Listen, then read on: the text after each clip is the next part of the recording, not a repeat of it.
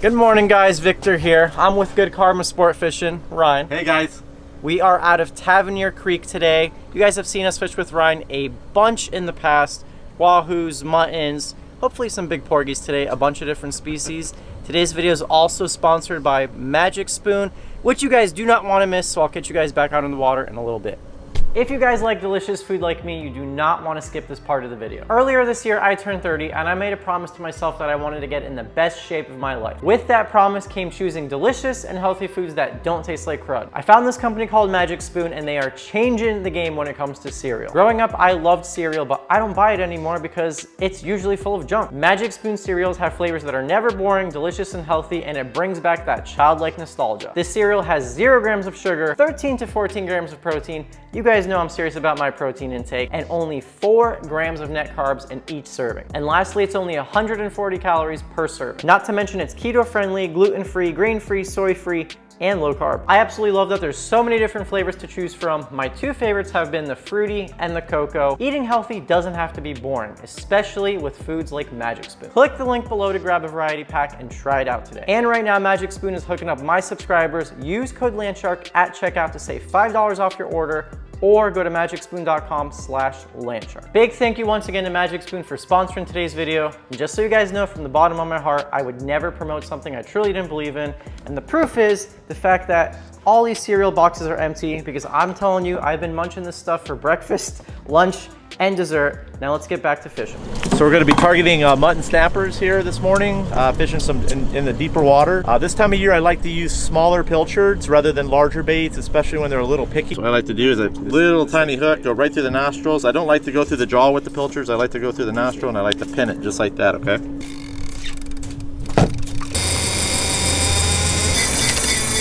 Yeah, the nice thing about this, super easy, really long leaders. I don't like the hand line. I've got a little bridle system here. And what I do is I'll just pinch that clip on there. I've got a, as you can see, got the old zip tie. Trying to hook fish in really deep water. We're in 300 feet, so you can imagine there's a lot of stretch, a lot of line. Just looking for like the faint, faintest little tap. Mutton's got a big mouth, so shouldn't take much for him to eat it. My bait was getting a little bit nervous. Sometimes you can see your pilchard moving around down there, but so we got three rods out. Alex fishing uh, squid, Ryan's filming, and uh, we got another pilchard over there. Gorgeous day. This is very rare for February to be this slicked out. Alec, you did it to him with the squid? Wow. How is it that we have live bait on this side and this guy's got squid on this side? And Alex just doing Alex things. Love me a nice pink snapper. That's a mutton. That's a good Woo! one. That's a keeper. Nice, Alec. Ryan's got a net. Oh, he didn't blow up at all, dude. No, he fought the whole way that's up. That's crazy. It's a nice mutton. Yeah, that's a good. Hell yeah. Boys were fishing live bait. All it took was a little dead bait. Nice squid action. Left the tentacles on there too, so it was wiggling. Ooh! Little secret pro tip. All right, guys, hooked up on the pilchard. Yeah, buddy. Oh. Take some oh. line. Take some line. This is the first uh, fish we've hooked on a pilchard. Ryan was just getting a bite on the goggle. Look at that. It definitely helps with these bent butt rods in 300 feet of water. I like fighting fish like a man, but you know what? 300 feet of water, I don't mind putting it in the bent butt. So far we've got one gorgeous mutton, and you guys saw how Alex fish was really orange. When they're out here in the deep, they take on a different color profile than when they're uh, in shallow. The shallow water ones will be a lot more um, kind of like green and pale and these ones are super orange and bright. Look at that. And I'm kind of babying them because we're fishing relatively small hooks because our hooks are just trying to match up to the, uh, the pilchard. I don't think I've eaten snapper once this year. I'm excited if we get one. I mean, if you're cooking, I'm there, dude. No, tonight's sassafras. Sassafras? I didn't get the invite. You seen right, Chef Yames? Triple date, Ryan. Triple date? Be a seventh wheel ordeal. Dude, not allowed to have friends that aren't me. Now you're yelling at me and you're protective? All right, see, there's the beauty of that weight. Alex gonna clip it off. Good. Yeah, he's floating now. Look at him. Yeah, he's back there. Woo, oh yeah, he's blown up. Oh, he's still Dude, shaking. He still got some life in him though, huh? Right into the net. Hell yeah. When I say blown up, I mean eyeballs. You see how his body's kind of just, it almost looks like someone stuffed him with gas and that's exactly what happened. He's coming up There's a lot more pressure in 300 feet than there is up here, so he can't compensate for that change. So those gases expand, his eyeballs fly out of his head. You getting bit, Ryan? Yeah, it's bite. Oh, we got another bite behind the camera. That's on that gun. That's gonna be a big one. You could set it down. Get set, get set, get set. Okay, you got it. Yep, that's a big Oh one. yeah, he's pulling. Take it easy on it. While I was filming for Vic, literally the last rod out behind me got hit. Picked it up, got tight with it on a big, big dead bait. Wait's right here, Ryan. Nice mutton. Yeah. Oh He's got him on too, buddy. He's a keeper. Nice. Hell yeah. Another mutton in the boat. That hook got him good in the nostril, huh? right. All right, guys. That is our third mutton. Ryan just pulled up. Yes, And sir. uh, being the nature of my business, I get to fish with a lot of captains, and captain gets paid for the hunt, not the kill. The experience and the brotherhood you have out here is way more important than what comes at home in the fish box. Don't get me wrong, I like bringing home and- fish home in the fish box, but uh, just being out here with someone who's super positive like Ryan, well worth it. So if you guys want to book a trip with him, linked in the description box below. All good, brother. All good. Good karma, yeah, right? We have good karma sport fishing. Holy B-roll. My guess is a 18 inch mutton. Yeah, I'm guessing a little mutton. It's a porgy. Oh, yes! Whoa! Dude, I'm telling you, I'm way more excited to see this thing come aboard. Flip them? Flip or die. buddy! That's a stud. Yes, it is. That's my biggest porgy Okay, by see, far. li- listen. The excitement on your face between this fish versus the mutton you caught, you can't. It's it can't be matched. Everyone wants to catch a porgy. We're gonna make porgies great. Listen, the so- camera magic that's going on right here. Look at this. Me and him got Look at this. Look uh, Look at how big this porgy Yeah, can look yeah. with a little photo magic. It's amazing what a fisheye lens can do. But nice job, dude. Long arm nation right there. he looks like he's 40 pounds right here. Right? Very It's like similar a to sheep's head. Yes, very similar to sheep's head. Big crustacean, barnacle eater. He's still got his wisdom teeth, Victor. That's a very good looking box. We got the pink snapper, the white snapper. If you were in the Bahamas, they would call that a white snapper, a gray snapper. Everything over there is a snapper. So we were about to reel up everything, and of course, as soon as Alec touches the rod, this rod starts to double over. He had a fish just kind of sleeping on it, and it's actually pulling pretty good. It's immovable object right now. Nice. Oh wow. Oh, wait. Deep water nurse. Oh my gosh. That's Whoa, not dude. He was definitely sleeping on it. He found himself a little cozy Yeah. rock, sat underneath there with your bait. Okay, well, that's all you guys needed to see about that. Yeah, I don't know. I'm still not convinced. Ryan says I have a fish on. I think it might just be. Oh no, that's a That's a fish. fish. That's a fish. that weight, man. I need to buy one of those weights. what I could do is if I buy a weight that moves, like a, on a slow day, I can put that weight down on there and we can act like there's All the nothing. clients will be fired up. Everybody will be all fired up. It's not that fish, Vic. no, it's not. It was uh, while I was reeling up, so who knows? Ryan said you want to go catch more porgies. Heck yeah, we do. So we're gonna go to another. Big, big, big porgy porgy guy. Well, I'm nearing the home stretch here. And yes, Ryan, my face would be ecstatic if it was a porgy. And it is a mutton.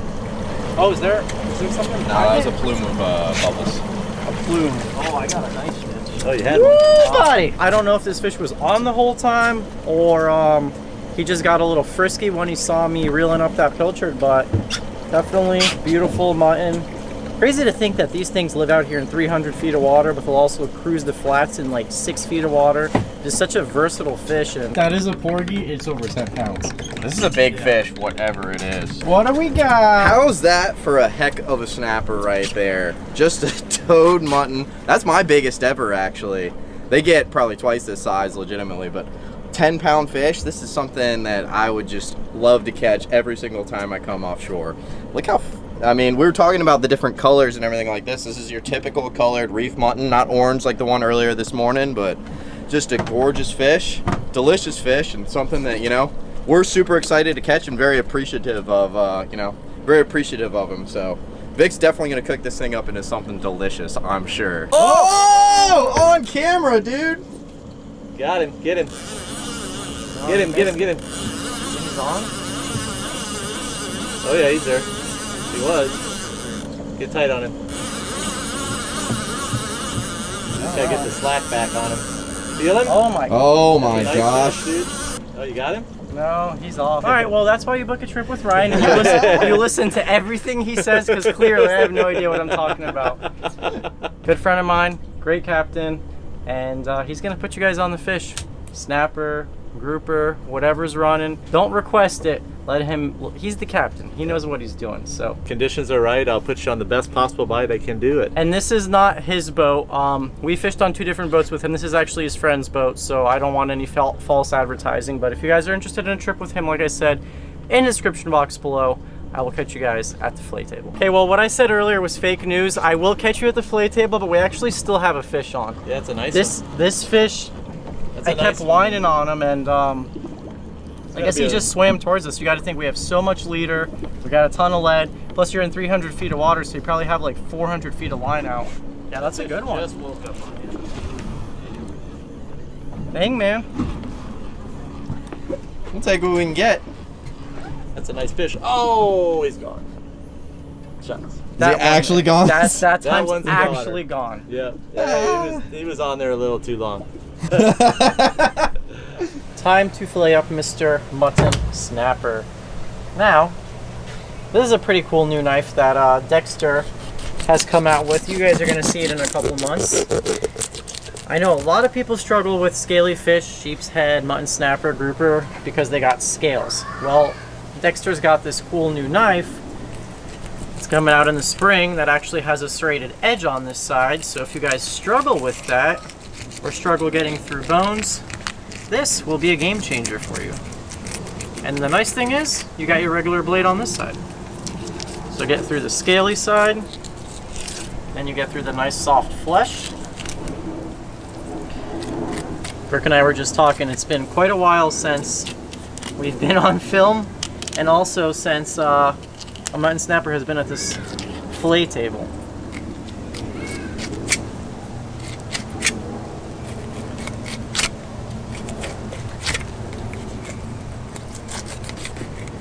Beautiful. Mutton snapper. No better fish. I know it's Brooke's dad's favorite. I know it's probably Brooke's favorite. It's definitely one of my favorites. Firm, yet flaky fish. And fun as heck to catch too. Especially in that deep water. Look at that. Gorgeous. I'll see you guys at dinner. All right, so we got our mutton snapper and porgy. And I want you guys to take a look. You guys saw I was a little hyped up about the porgy on the boat, and there's a reason why. Look at this. This is everyone's preferred fish, right? The porgy never gets any love, man. Look at this. That reminds me of hogfish. Very white and flaky. Absolutely gorgeous. So this is one mutton and one porgy. We're gonna season it up now, and we're gonna go outside and do a little backyard cooking. Paprika, garlic powder, salt, and pepper. Okay, same thing on the other side. Now the reason people like snappers so much is because this is exactly one week old fish that has been in the fridge. You can't do this with a lot of fish. Fish, unlike other proteins like chicken or beef, they don't have as long as a, of a shelf life. They get, um, they get fishy, you know? They get a, a foul taste, very desirable fish. They don't get as fishy as fast. We are cooking in the backyard, gorgeous sunny day in sunny South Florida on the Camp Chef Woodwind. We got the sidekick right here. We got the gas on this side, the pellet grill. I have this preheated to 400 degrees. Got a little Dutch oven, casserole pan. We're gonna go in with some olive oil. And that is hot.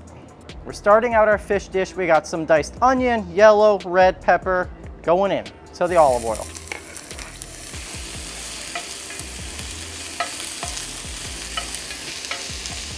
I don't know why, but Brooke's not feeling like talking. She goes, should I show everyone my orchid? And I was like, yeah, do it, babe. And check this out. We got ourselves a nice new flat roof, which is gonna be really good for um, cooking videos. We can actually cook out here and not get baked in the sun Or Um, get rained on. or get rained on. There's a lot of times where we want to cook fish outside, but it's raining, so this is our backyard. Welcome, welcome. Thank you for having lunch with us and hanging out with us. And um, yeah, This is our little deck area and we just got this little flat roof and now we can cook on the grill. Very excited because you guys know how much we love to cook and entertain. I'm gonna add, I'm gonna add just a little bit more olive oil right here. And we're gonna go in with a whole head of garlic. Don't be afraid of garlic. Garlic loves you back. We're gonna just wake up the garlic with the peppers and onions and you guys see those peppers and onions got some great color on them.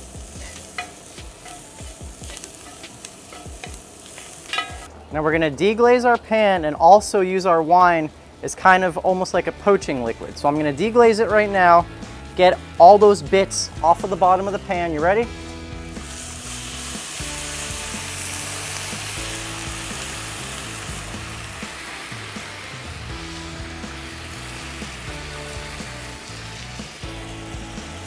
We're gonna kill the heat on here. So I'm gonna put my fish right on top of this mixture and that alcohol in that wine is gonna cook out and we're just gonna be left with a delicious and sweet and savory sauce. So this is the pellet grill. Got it set to 400 degrees.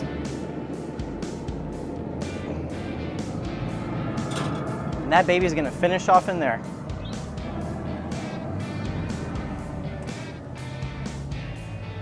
All right, we ready to take a little peek? Oh yeah, baby. Look at that.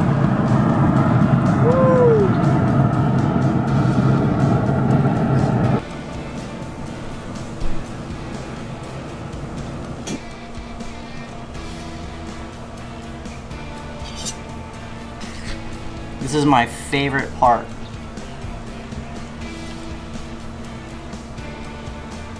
I'm a sucker for a good French bread or baguette with a bunch of juice to dip in. Look at that.